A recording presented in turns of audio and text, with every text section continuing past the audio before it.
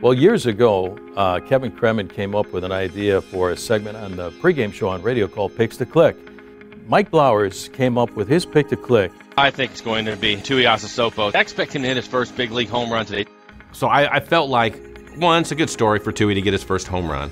And I felt like it was a good matchup with the left-hander on the mound that liked to throw a lot of fastballs. We kept going higher and higher. On a 3-1 count. On a 3-1 count, breaking yeah. ball, fastball. It'll fastball, be it'll be a, no, fastball. it'll be a fastball. He's a fastball pitcher. 3-1 count. Second at bat. Here comes Matt Tuiasosopo in the top half of the second inning. And I'm thinking to myself, this is going to happen.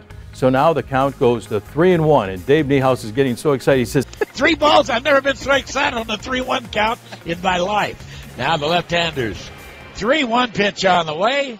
Swung on oh. and belted oh. in the left field. just missed the second deck. And they come into the TV booth and they are so excited about it. High fives all around. And I had no idea what a big deal that was going to be.